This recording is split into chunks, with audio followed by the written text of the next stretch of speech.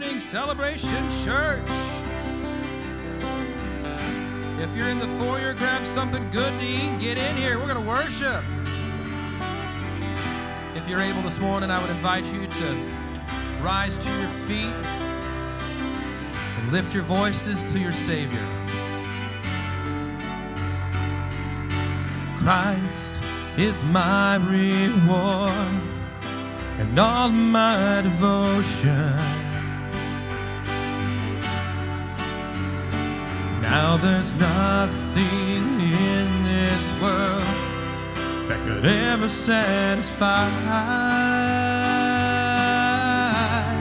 Through every trial, my soul will sing, no turning back. I've been set free.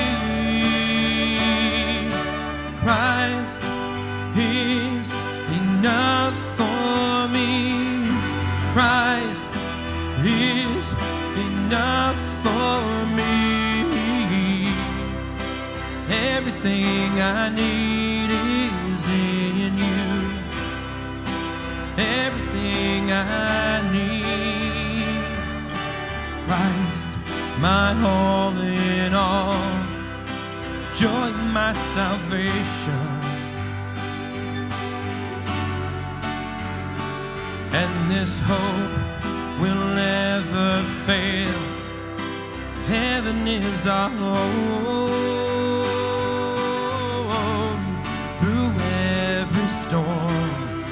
My soul will sing. Jesus is here.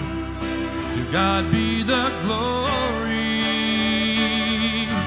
Christ is enough for me. Christ is enough for me. Everything I need Everything I need, Christ is enough. Christ is enough for me. Christ is enough for me. Everything I need is in you. Everything I need.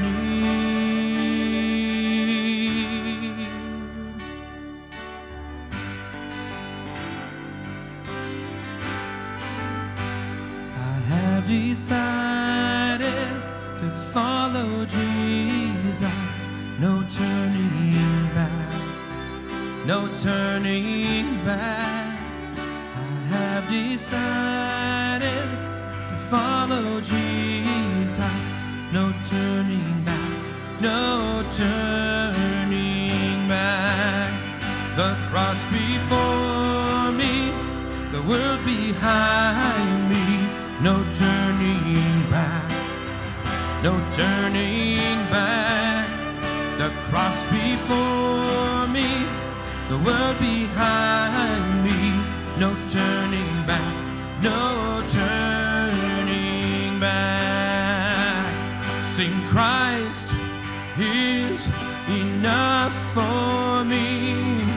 Christ is enough for me. Everything I need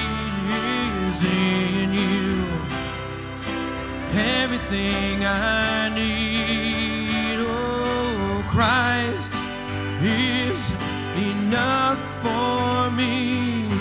Christ is enough for me.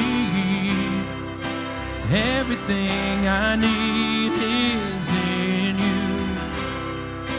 Everything I need have decided to follow Jesus. No turning back, no turning back. I have decided to follow Jesus. No turning back, no turning back. I have decided to follow Jesus. No turning back. no turning have decided. Follow Jesus, turning back, no turning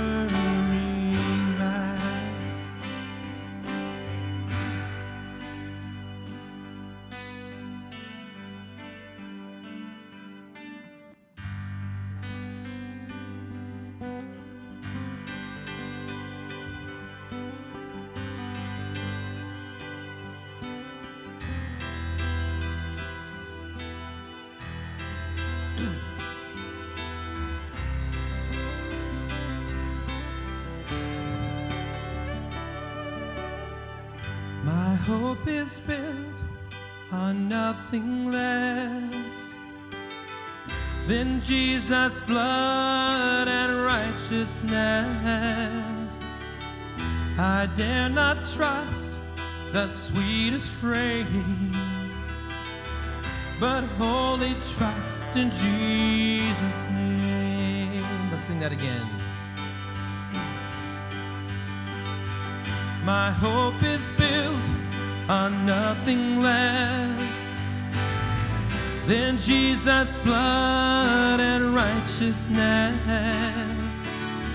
I dare not trust the sweetest frame, but wholly trust in Jesus' name.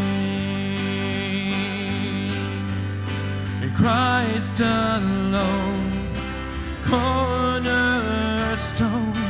weak made strong in the Savior's love through the storm. He is Lord, Lord of all. When darkness seems to hide his face, I rest on His unchanging grace. In every high and stormy gale, my anchor holds within the veil. My anchor holds within the veil. And Christ alone, weak made strong in the Savior's love through the storm. He is Lord, Lord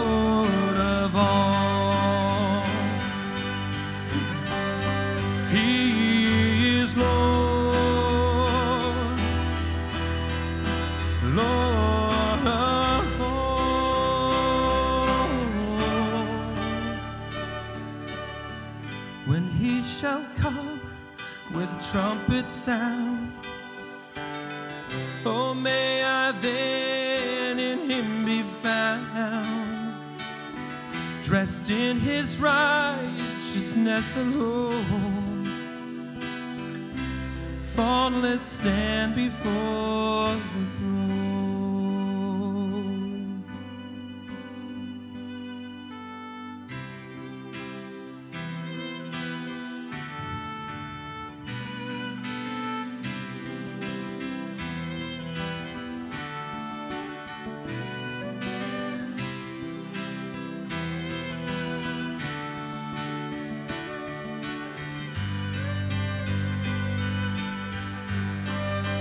Christ alone, cornerstone, weak made strong in the Savior's love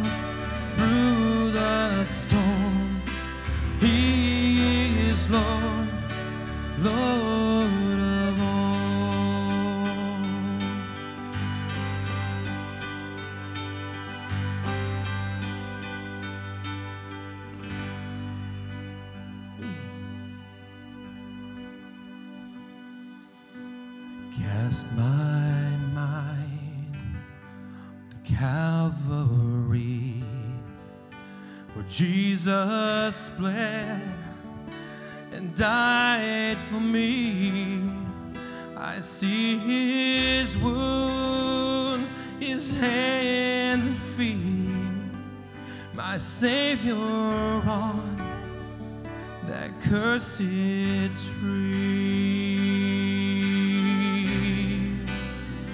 His body bound and drenched in tears, they laid him down in Joseph's tomb.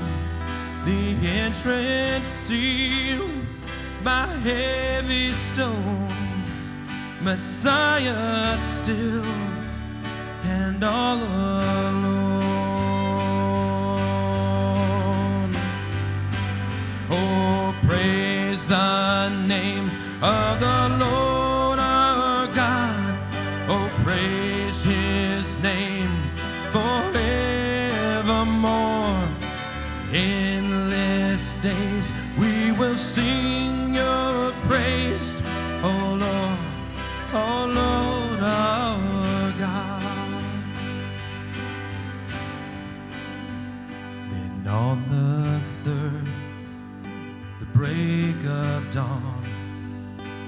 Son of Heaven rose again.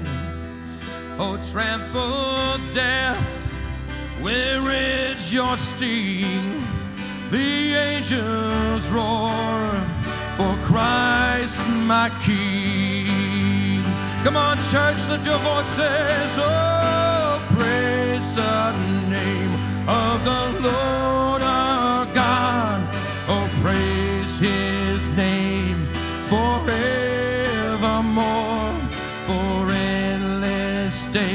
I will sing your praise.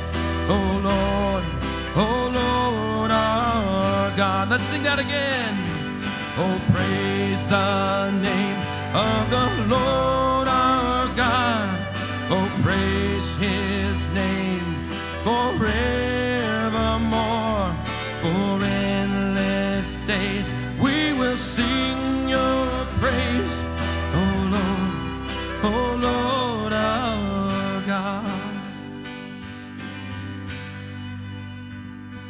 shall return in robes of white. The blazing sun shall pierce the night, and I will rise among the saints, my gaze transfixed on Jesus' face.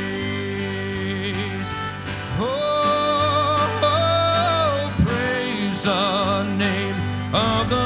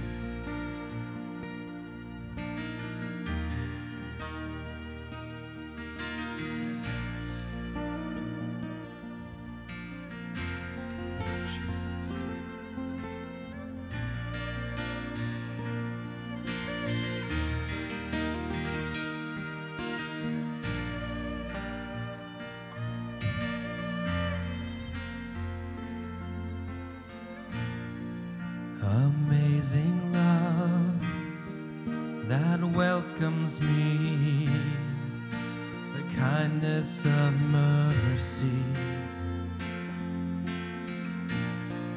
that bought with blood wholeheartedly my soul undeserved.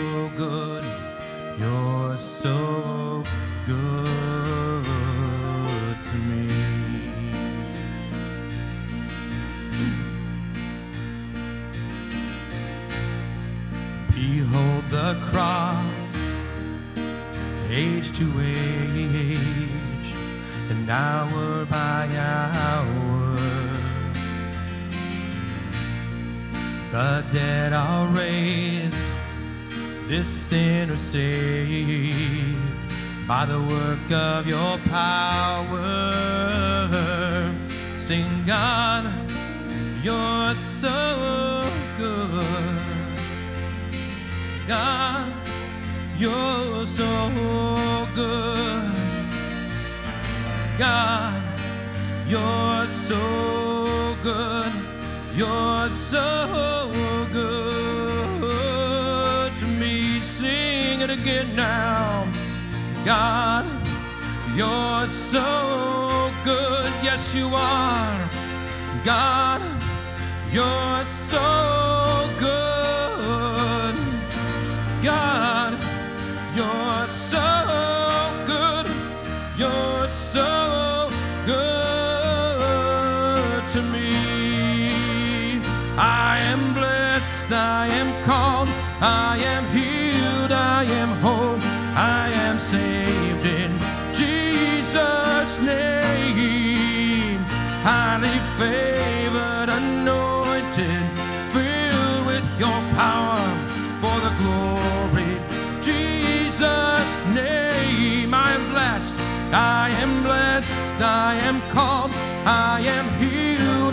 am whole, I am saved in Jesus' name. Highly favored, anointed, filled with your power for the glory, Jesus' name.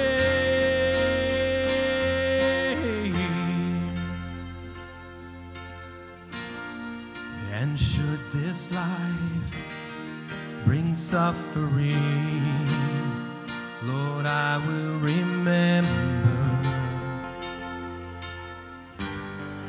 what Calvary has bought for me, both now and forever.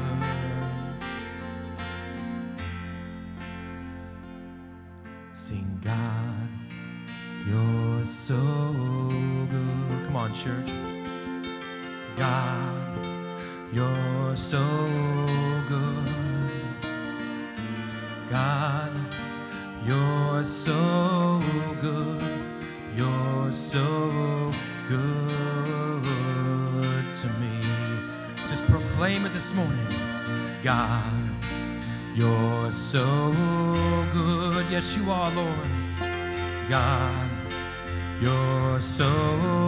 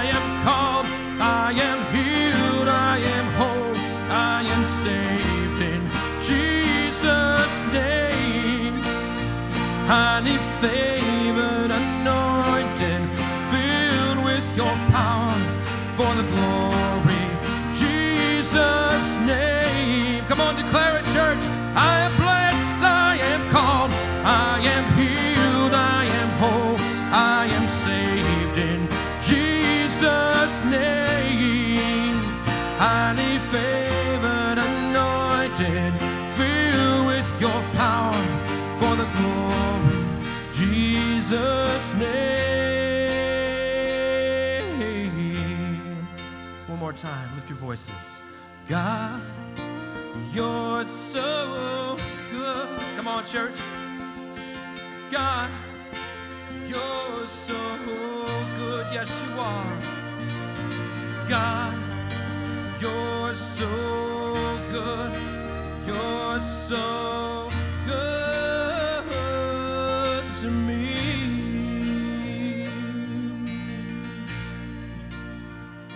Bow your heads with me.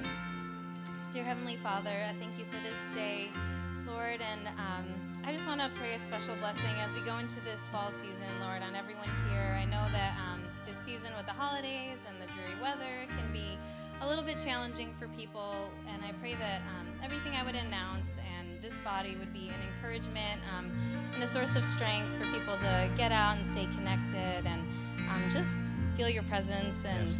um, feel you moving in our community. Thank you for being here with us today. In Jesus' name we pray. Well, hello, everyone. Good morning. I'm Ashley and everyone online. Um, I have some announcements this morning, and they're kind of interactive because you all look very awake and um, ready for some Sunday fun. So, the first thing I'm going to have you do, if you need a little stretch, is to reach forward and grab the Connect card in the seat pocket in front of you. Um, if it's your first time here, your second time here, or your thousandth time here, you can fill that out.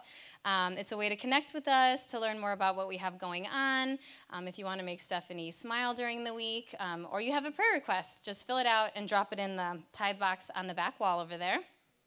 Um, and the next thing I'm going to have you do is pull out your phone. So don't act like you didn't bring your phone to church. You know you have your cell phone with you. Um, I don't know how many of you are familiar with QR codes, but I'm going to teach you how to use it um, for those of you who don't know how to. Um, so open your phone and then open the camera app. Don't take a picture, but just point the camera at that QR code box up there. And you might have to zoom in, use your fingers, spread it out a little bit. Um, and a little yellow link should pop up. If you click on that, it should open the sign up for our trunk or treat. Any success? Oh, and for the online people, the QR code is floating above my head. And it'll work the same way, so hold your phone up to the screen. So we need people to decorate their trunks, um, and we also need people to help out with games. I think in the field for some of the older kids. Um, it's going to be Saturday, October 29th, 4 to 6 p.m. Um, this was a blast the last two years, and even if you're not super into Halloween and all the creepy stuff, um, we had like really fun trunks like pirates and Star Wars and Pokemon and um, I think we had a petting zoo one year and bed bugs in a truck bed. Um, so go ahead and sign up for that now if you're able to. Decorate a trunk or help with activities. Um, it's going to be a really good time. We also have the Thanksgathering service coming up. That's on Thanksgiving morning um, from 9 to 9:45. So it's um, a short service, but this was such a blessing to me last year, um, being able to just wake up, start my day with praise and thanksgiving to God. Still have plenty of time the rest of the day to cook for dinner. Um, but the highlight is hearing from other people that get to read letters. And there's a few that stuck with me from last year, um, from some people that I got to know that I didn't know that well before, some people that are quieter, um, and getting to hear them open up from the heart is really a beautiful thing. There's someone um, close to me this year that gets to read a letter, and I'm excited about getting to hear those. So I hope you'll join us with, um, for that. Now, for Zeiger, um, I have a little coloring book here because this is also going to be interactive. I have all these coloring books. They look like this, and they're in the south foyer on the table. Um, last week or last month, we talked about praying for the Zeiger families. Keep doing that, keep donating.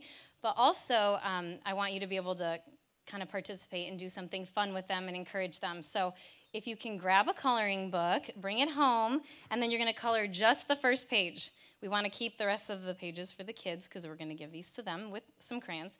Um, so color the first page and then write an encouraging note. So this one says, Hope you have a great day. Someone's thinking about you. Sign your first name.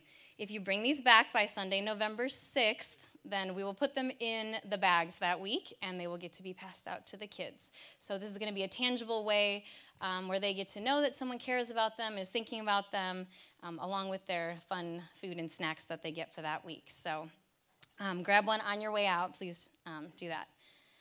And last but definitely not least, October is Pastor Appreciation Month. So we love Pastor Dustin and Stephanie and their family.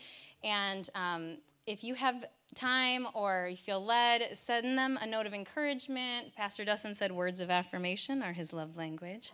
So um, start talking encouragement to him. Um, and then we're doing a special offering next week for them. So if you're able to donate for that, um, this is just a little thank you um, to bless their family for all the hours of hard work. Um, you know, there's no set hours as a pastor, it's probably 24 7. So, and for the pastor's wife. So um, please join us in celebrating them this month.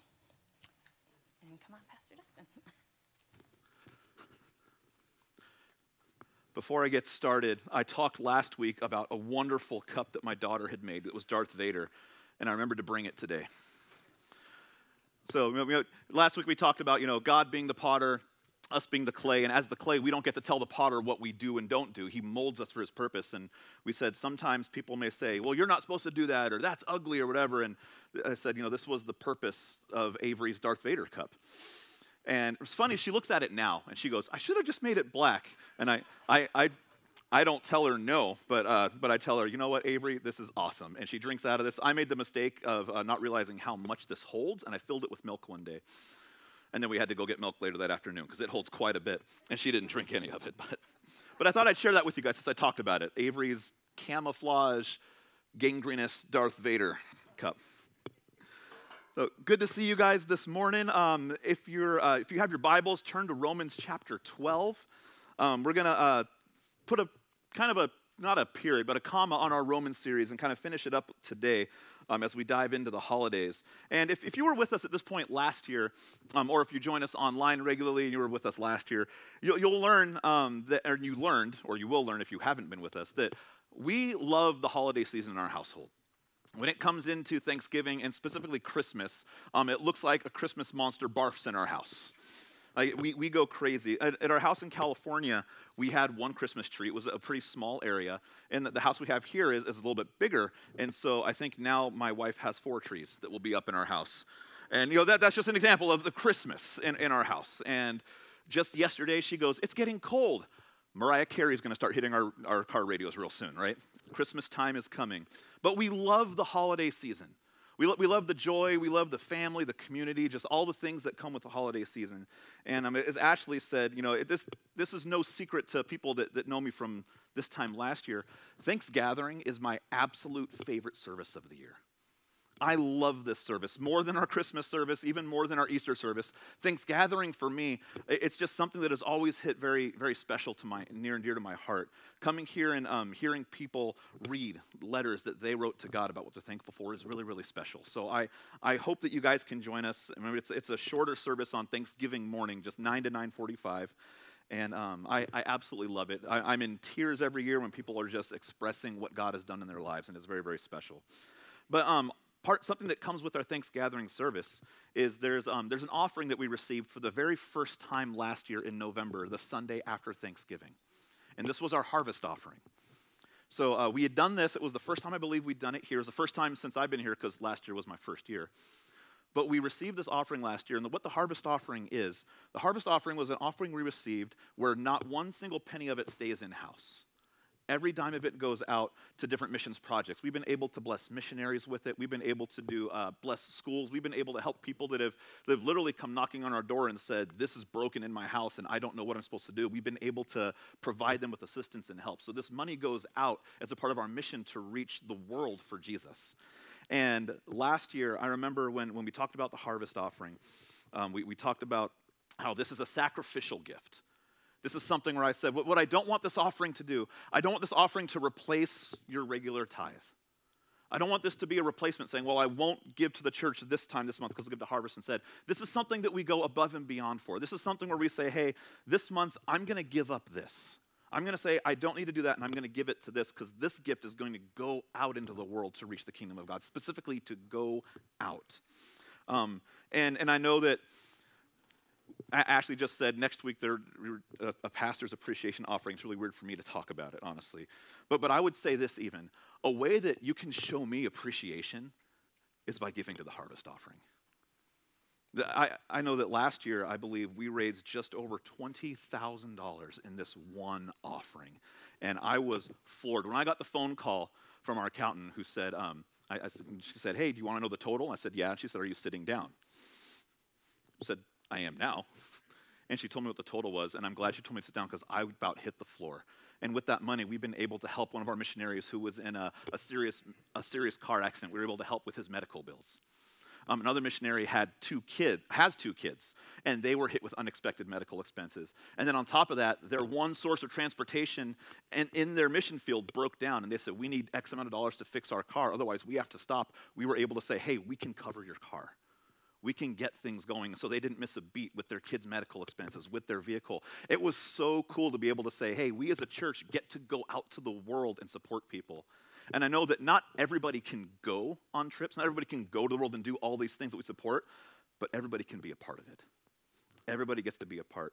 And so the Sunday after Thanksgiving, we're going to have a time here in service where we'll receive our Thanksgiving and our harvest offering.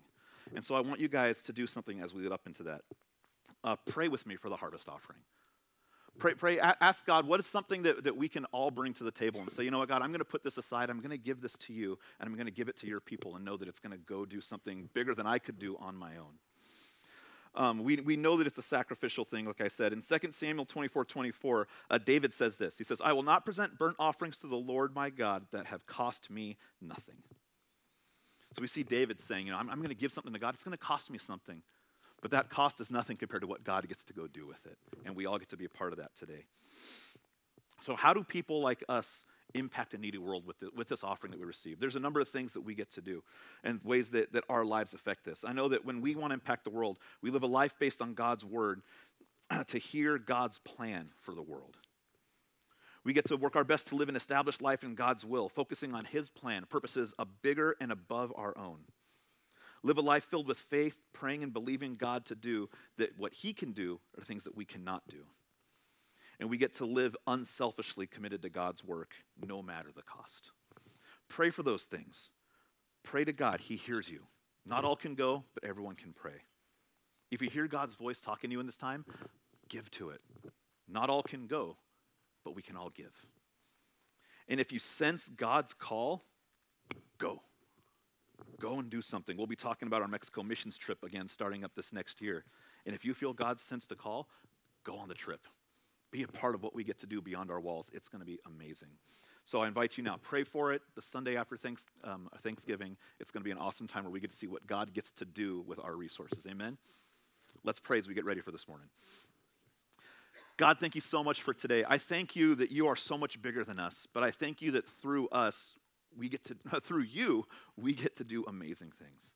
So, God, as we as we dive into uh, the, the end of Romans and this Thanksgiving season, God, I pray that we always remember to stay focused on you, focused on what, what you give to us and how we can sacrifice ourselves, more of us for your glory. So, God, I ask that you use us in incredible ways, bigger than we can imagine, and that the world is impacted in amazing ways as well. We thank you, we love you, and everybody said, Amen.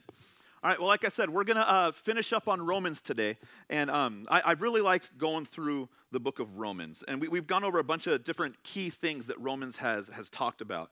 But as we, as we end our series on Romans uh, for now, I want to go over one of the big key principles I think Paul really hammers in and buttons up this book with.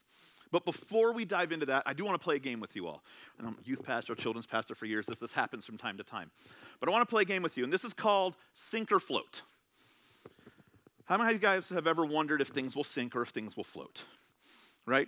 Kind of, a, kind of a silly thing, but um, I actually was inspired by this at um, one of the farmers' birthday parties when I tried to throw one of the kids in the water and they pulled me in the water with them, and I did not, you know, float very well. I sank right there. But objects, will it sink or will it float? So the first object, we have a Lego piece. If you were to toss a Lego piece into the water, all right, how many of you guys, just raise your hands, how many of you guys say this thing is sinking to the bottom? Yeah. All right, how many of you guys say this thing floats? All right, we've all stepped on Lego pieces before, right? Yeah, that's, that's worse than stepping on a nail. But a Lego piece will float. A Lego piece will float in water. Second thing, this one, maybe I think we should all get this one a rubber ball. How many of you guys think this will sink? Say, Odin, I knew you'd raise your hand. I knew it. Not even a doubt. All right, how many guys, this is gonna float? Yep, all right. Rubber ball, yes, of course, this will float. All right, little trickier one a Jolly Rancher. Oh, a Jolly Rancher. Will the Jolly Rancher sink or will it float? All right, see those hands. How many say this is sinking? How many of you guys think this will float? All right, a Jolly Rancher will sink. Jolly Rancher will sink. All right, a whole lemon. A whole lemon, sink or float? All right, how many of you guys think a whole lemon will sink? How many think it will float? A whole lemon will float. A peeled lemon will sink. But a whole lemon in that form right there, it will float. All right, a can of Coca Cola. A can of Coke. How many of you guys say this will sink? How many say this will float? Now, for those of you raising your hand saying it will float, do you prefer diet sodas? Diet sodas will float. A regular can of Coke will sink. The sugar content in a regular can of soda will make it sink, but the diet sodas, those will all float. They make you feel lighter as you consume them, too, right? Yeah. All right, kind of a tricky one paperclip. A paperclip. Will a paperclip sink or float? All right, see the hands for sink. See the hands for float. All right, this one's kind of a trick, honestly. A paperclip dropped in water will sink. If you so lightly lay that thing on its side on the top of the water, it will float. But the minute it's disturbed, it's going down. So, for, for example's sake, it sinks. And then the last one, a pencil. Will a pencil sink or, a, or will it float? How many guys think that will sink? How many say it will float? Theoden, you, gosh, you dude. a pencil will float. Now, um, what's funny is there's, there's a whole YouTube channel dedicated to will it sink or will it float. And there's actually, in a big enough body of water, I think up to a nine pound bowling ball will actually float. But then once you get to 10, that thing sinks. But, um, but it's kind of fun, and I know some of you, you can go home and experiment with, with kids or family or what things can you get to float. And it's kind of fun seeing what will sink, what will float. But it's clear that something's going to do one of two things when you throw it into a body of water it will sink or it will float. Sometimes you'll get something that will stagger from it, like if you get a cup and you throw that in, like, oh, that thing's floating. But as soon as water goes into the opening of the cup, then that thing goes down and it's going to sink. It's going to do one of two things. Objects that even float by accident eventually can sink. Now, a lot of you raise your hands for something sinking. A lot of you, you know, for something's floating. Some of you were tricked. Theoden picked the wrong answer on purpose every time. But, um, but, but in typical fashion, this was not just a game. There's, there's, there's a point to this, sinking or floating, right? We've learned a lot in our Romans series this past couple months. We've, taught, we've asked ourselves a lot of questions about how do we apply this? What, what, is the, what are the messages Paul is really conveying through this book? And the things that we, we've touched on, we've talked about the problem of sin.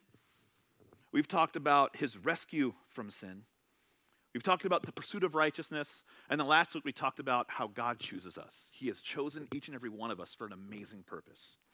Taking all this into our minds, these four big lessons so far, we have an option now when we take these and go out into the world and into the troubles that we face. The question for us today is when we go out, are we going to sink or are we going to float? What's going to happen when we get flooded with problems and flooded with trials? Are we going to be something that so lightly will stay atop unless, unless if nothing touches us, but then we go down? Or are we going to be able to be one of those things like, like a rubber ball where no matter what happens, you push that thing down, it just fires out of the water? Are we going to sink or are we going to float? And I think this is an important question because as we learn about sin and redemption and, and righteousness, we're often asking ourselves this question with God. We say, okay, God, now what? Now, now what do I do? I, I've learned these things, I'm, I'm reading, I'm applying, but when I go out and something happens, now what? How do I float in this situation and not sink when the world comes at me? Romans chapter 12, we're going to read what Paul says about this and something we can do in our lives to make sure we float through these issues. We float above these problems and don't let them consume us. Starting in verse 1, he says this Therefore, I urge you, brothers and sisters, in view of God's mercy, to offer yourself as a living sacrifice, holy and pleasing to God. This is your true and proper worship. Do not conform to the pattern of this world, but be transformed by the renewing of your mind. Then you will be able to test and approve what God's will is, his good, pleasing, and perfect will. For by the grace given me, I say to every one of you, do not think of yourself more highly than you ought, but rather think of yourself with sober judgment in accordance with the faith God has distributed to each of you. Now, one of, one of the, the first couple lines in this passage here is, is the big line, right? It says, Paul mentions this concept of a living sacrifice. Now, in the Old Testament, there, there's lots of sacrifices. There were sacrifices for different occasions. There were lots of different kinds of sacrifices, certain animals for certain things. There was a, a whole plethora of ways you could sacrifice. And then Paul ups the ante here post Jesus. He says, Now offer yourself as a living sacrifice. He changes it. He calls us to that. He says, You as believers, you are now to be a living sacrifice.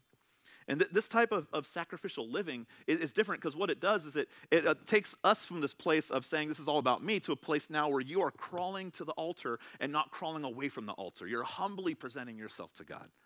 You are this living sacrifice, which can be a confusing term, which we'll talk about today. Luke 9:23 says this, Whoever wants to be my disciple must deny themselves and take up their cross daily and follow me. Take up their cross daily and follow me. Now, this isn't always going to be comfortable. I can't imagine when Jesus was carrying his cross that that was a very comfortable thing to do. And although we may not be carrying a physical cross, taking up your cross, taking up your burdens, putting some things aside and following Jesus can be a painful thing. It can be an uncomfortable thing, something that leads us into potential suffering. But ultimately, this is what God desires. So, so how do we do this effectively? How do we recognize it? And then how do we put this into practice? And I believe uh, Paul lays out a guide for us in this passage, this, this passage in Romans here, on what we're supposed to do. The, the, importance of saying no to the things of the world, the things that require us crawling to the altar instead of, of leaping out for ourselves, living sacrificially instead of saying yes to the world, saying yes to God.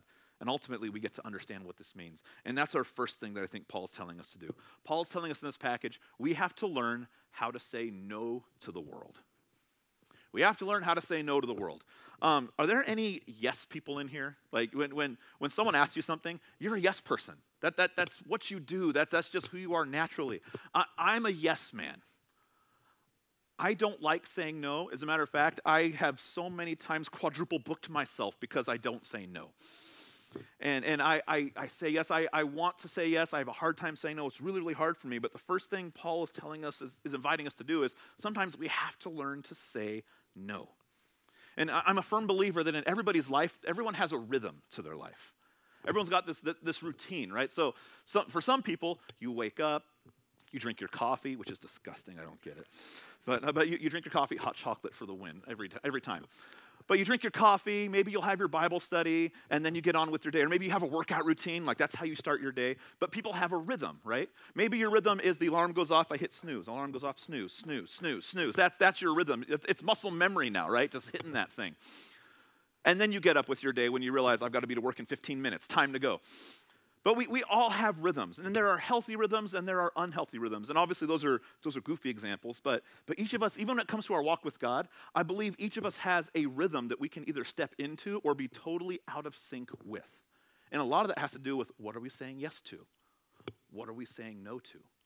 Are we living our life in a healthy rhythm? And oftentimes, we can find ourselves caught up in a very unhealthy rhythm. I remember for me one, uh, one time period in my life, it was a summer in particular. Um, my, my rhythm got very unhealthy, but I justified why I was doing it. Um, there was one summer in particular where I was working overdrive for, I think, six or seven straight weeks. I directed two summer camps. I led a Mexico missions trip. I preached at the church in Mexico. I preached five messages consecutively in church that week. I led four sports summer camps for kids. I was up late writing messages. I was up late planning things. I was working with teams. There was no sleep. And at the end of it, I felt really, really good. Guess who did not feel really, really good? My wife. My family did not feel really, really good. I was feeling like I'm doing this, and, and I was justifying it by saying, you know what? This is all for church. This is all for church. This is all for ministry. And by, at that point, I was working at another church, and I was the children's and youth pastor. And for me, when I was asked, you know, hey, do you want to take over the summer for the church? And, and do the and speak five messages over the course of the summer, I was like, yes. I went home and told my wife, like, I'm gonna preach. I get five consecutive weeks to preach. And she said, Are you crazy?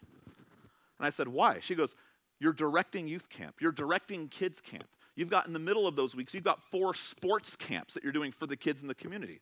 You're leading the Mexico trip. You're preaching at the church while you're on the Mexico trip. And you just added speaking five times to your calendar. Your calendar was already insane. And I said, I've got this.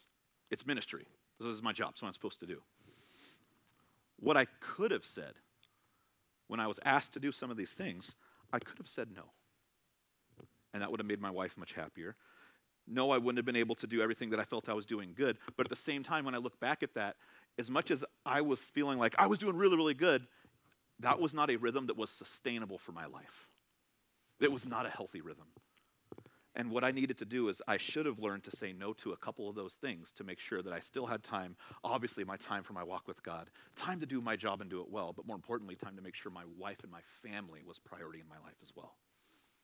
And because I didn't say no, I was using ministry to justify it. I was using ministry as, and my, my need for approval, right? At, at the end of everything that I did that, that summer, um, you know, as, as Ashley said, my love language is words of affirmation. That's totally true. So just, just feed it whenever you want.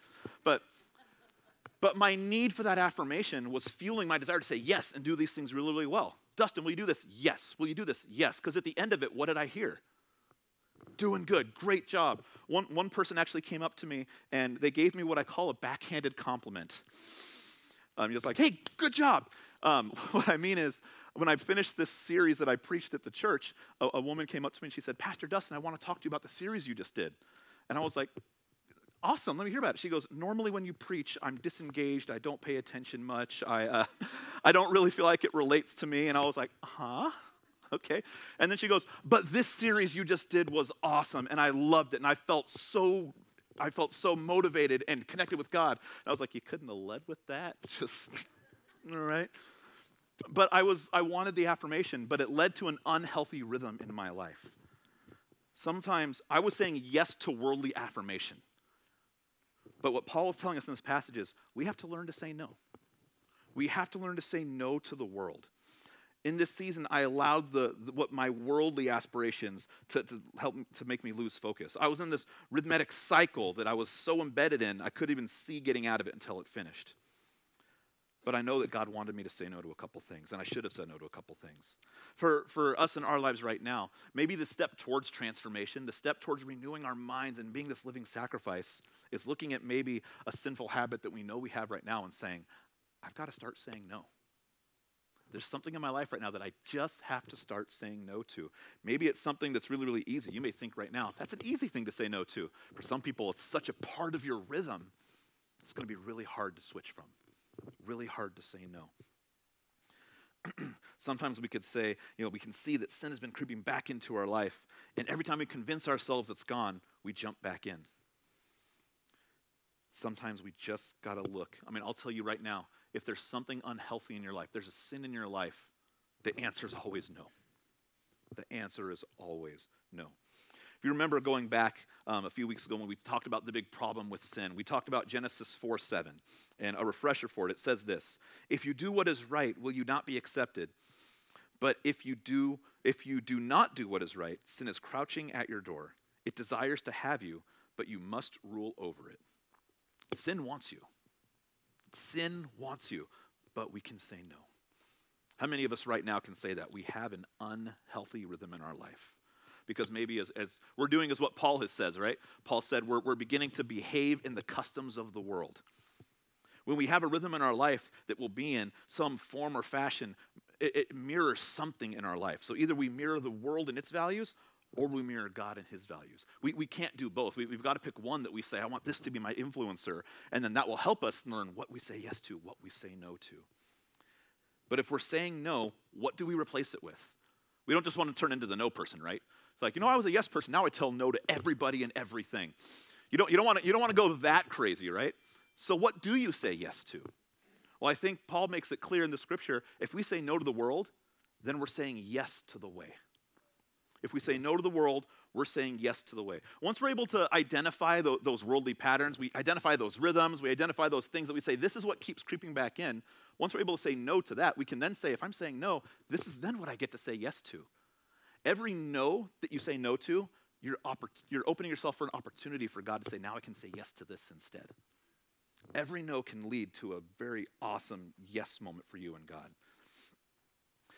Jesus modeled this, this life of humble sacrifice in pursuit of restoration and redemption for mankind with the way that he said yes to his Father consistently. In our Romans 12, 2 uh, verse, Paul seems to be concerned. He, he, he drives into this. If we're going to say no and yes, it, it drives in, it starts with how you think. It starts with how you think. Before you say, I mean, yes or no to something, it all starts with the thought. Our thought process is important when it comes to, to our growth and potential with the kingdom of God. Often, temptation to fall into worldly patterns, the very first time you do something or you're thinking about doing something, that's the key phrase. You're thinking about it. You, you start thinking, do I do this? Is, is this the direction that I should go? It all starts with your thoughts.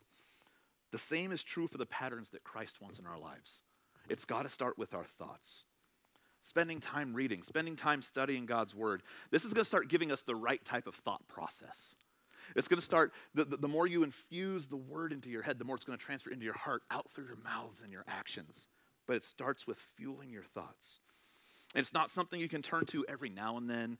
You know, t- turn to the word, turn to prayer when things start getting bad, but something that when you start inf- infusing it in your life, in your everyday life, when those bad times hit, it doesn't turn into a, oh, Hail Mary prayer to God right now. Now I got to figure this out. God, help me. I don't know what to do about this. But, but the more you infuse yourself on a regular basis, those things hit and you already know what you should do. You can already hear God speaking into your life before it turns into an issue bigger than you think you can handle because you're already filling your thoughts with His thoughts.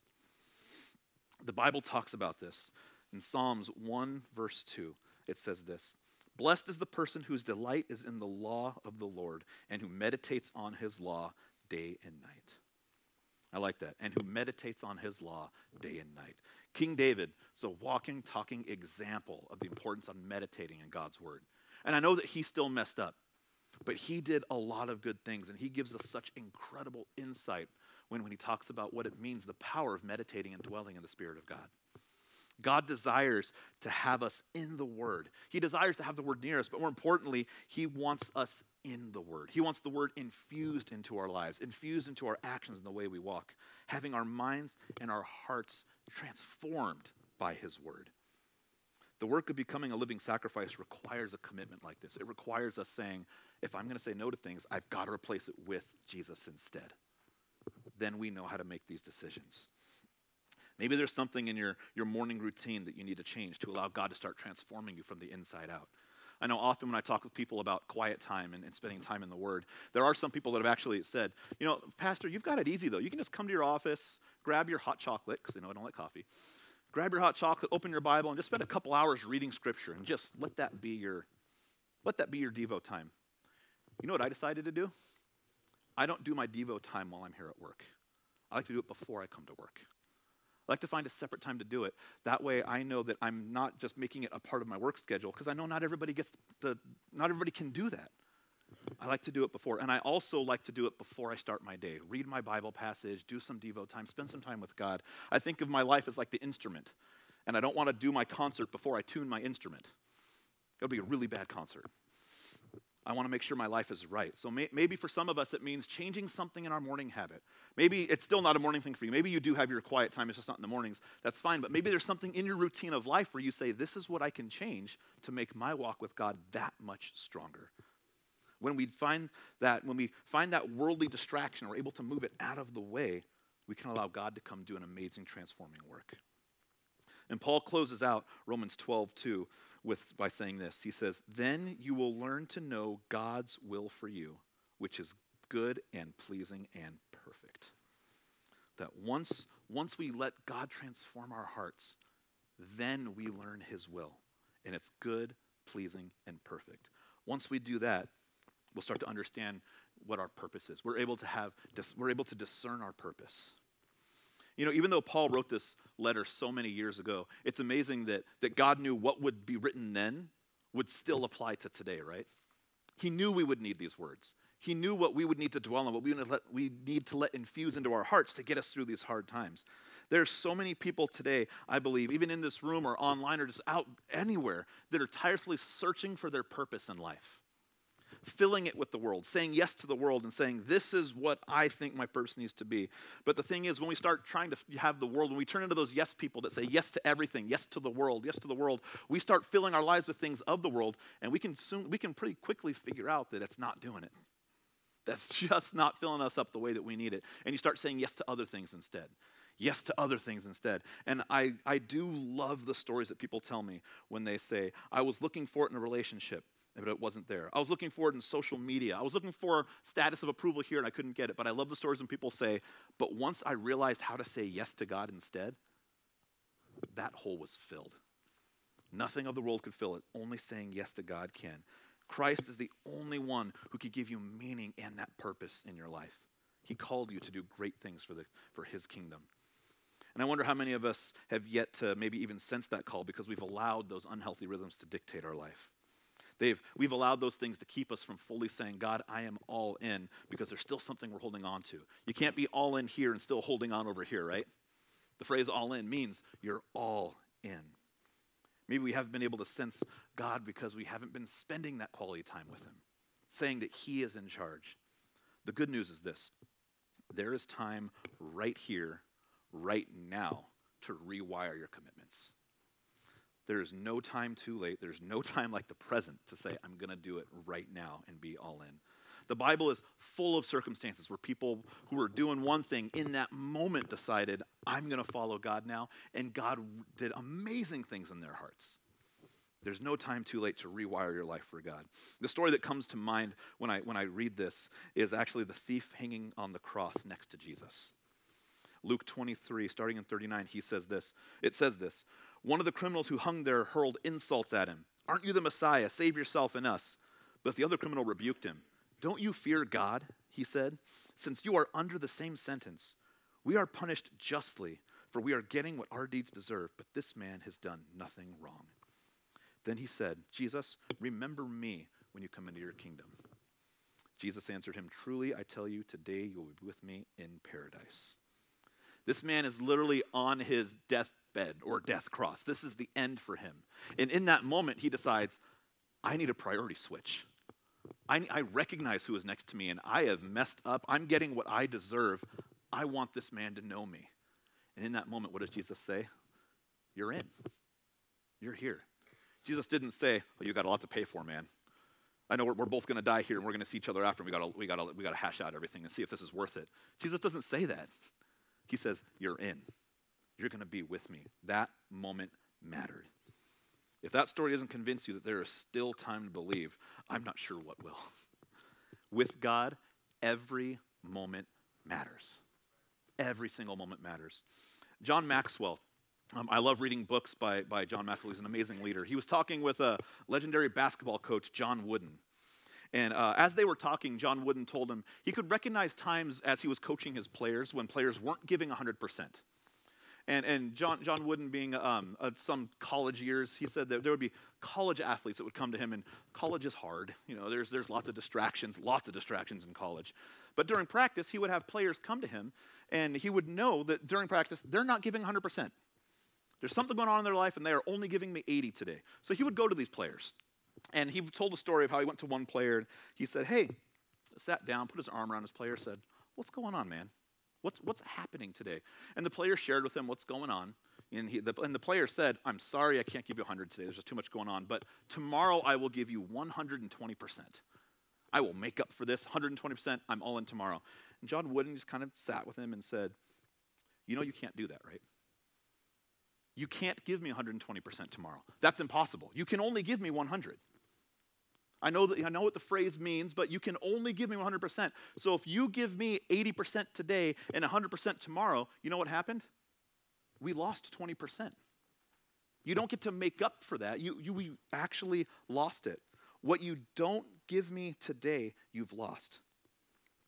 But what you give up today, you've what you give me today, you've accomplished. So John said this He said, Never rely on tomorrow to bail you out, because it can't and it won't. Make every day your masterpiece. This is why every moment matters. Don't wait for tomorrow. Don't, don't say, well, you know what? I'm kind of in now, but, but I'll, I'll go in tomorrow. Every moment matters with God. He's saying, grab it now. Do it now. Don't wait till later. Don't wait till a right circumstance happens. He says, Let, say yes to me today. Say no to the world now. Say yes to me now. Don't wait. Don't put it off. It's too important. Don't say, you know what, tomorrow I'll, uh, tomorrow I'll decide to, to, to sign up to serve. T- tomorrow I'll decide that I'm going to give my sin up to God. I'll wait till tomorrow. I'm going to have one last hurrah, and then I'll give it up tomorrow. Don't wait till tomorrow. Don't wait till tomorrow. Don't say, tomorrow I'll dive into connecting someone with church.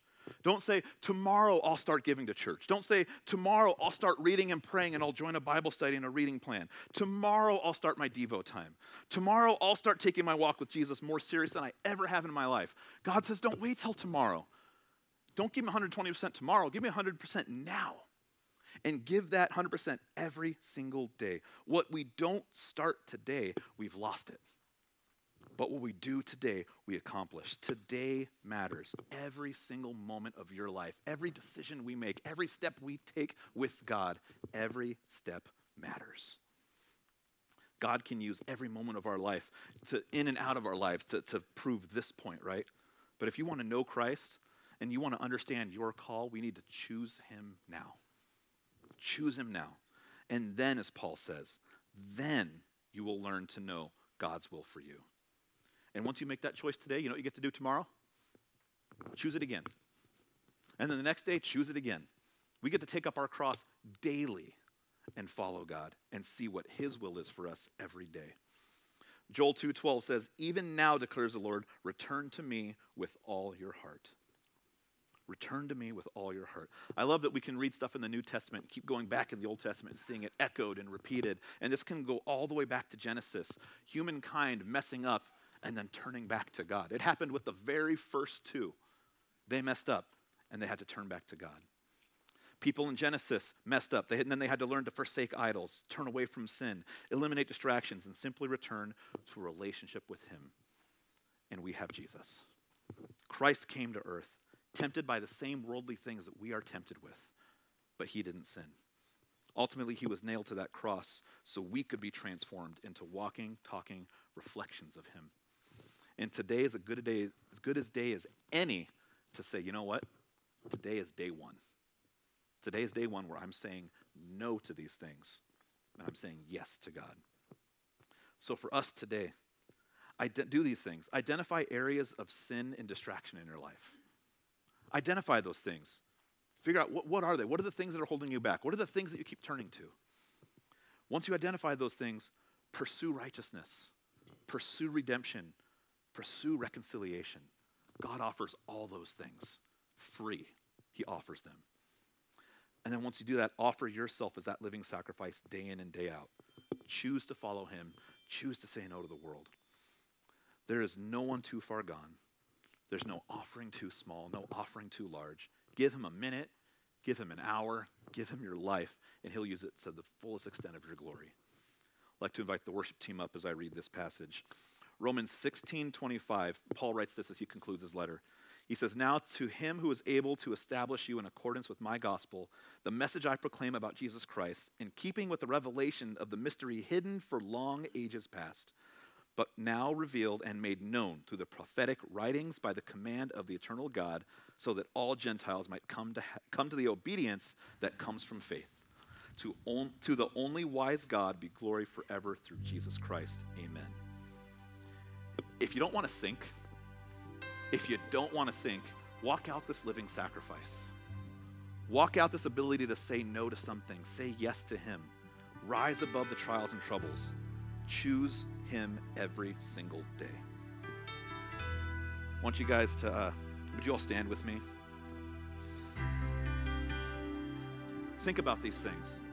Think about how far you've already come in your walk with Christ. I'm sure a lot of us can, can pinpoint that, right? Look back at where we were and then see where we were. Think about that. Think of how far you've come, what Jesus has done with you. Know that your story is not over yet. Your story's not done. Your walk with Jesus, I don't care how young or how seasoned you are. Your walk with Jesus is still just beginning. He's got so many good things planned, so much more for us to do. God desires this transformational work to keep working in us. Feel something. Feel the sacrifice it requires to remain on that altar as a living sacrifice. Really feel it. What does it mean for me to give something up? What does it mean for me to say, God, this is me and I'm giving it to you? I'm giving this up. Feel what that is for you and then do something. Begin to have your eyes open. See how God is seeking to use you. Walk this out. Make a decision today. Maybe you haven't signed up to, this isn't a shameless plug, but maybe you haven't signed up to serve at Trunk or Treat or something else. Let today be the day where you go online and shoot me an email, say, I want to sign up, I want to do it. Maybe today is the day where you say, you know what, I, I, I attend church kind of. Maybe you join us online, kind of. Maybe today is the day where you say, I'm going to do this regularly. I know this is important. I'm going to come. I'm going to be a part of it. Maybe today is the day where you say, you know what, God, I don't honor you very much with my finances. Today's the day where you say, God, I'm doing it. I'm trusting you with my finances. Today is the day where someone has wronged you in some way, shape, or form, and you want to reconcile with them. Let today be the day where you say, God, you forgave me. I'm going to forgive them. And I'm going to go talk to them and I'm going to restore something. Let Jesus work in you and through you and out of you and start today. Amen. God, you are so good. I thank you for your love. I thank you that, that we get to sacrifice ourselves for you. And God, when we do, you don't leave us hanging high and dry. You are with us, you hold us, you carry us through it, God, and you desire to have us with you. So, God, as we leave this place today, I pray that today is the first day of the best walk ever with you. God, that we leave here inspired, we leave here motivated and fueled by your love, and that love is shared with those we encounter. So, God, we give you our hearts, we give you our sin, we give you the things that hold us back so we can say yes to you always. We thank you, we love you, and everybody said, Amen. I cast my mind to Calvary. Jesus bled, He died for me. I see His wounds, His hands, His feet, my Savior that cursed tree. His body bound and drenched in tears, they laid him down in Joseph's tomb. The entrance sealed by heavy stone, Messiah still and all alone.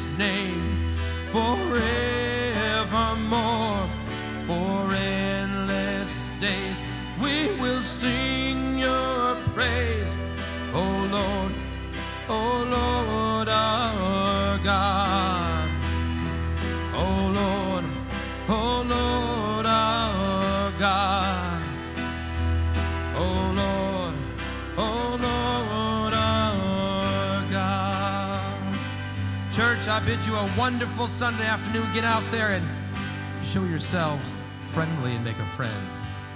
Thank you so much. Have a great week.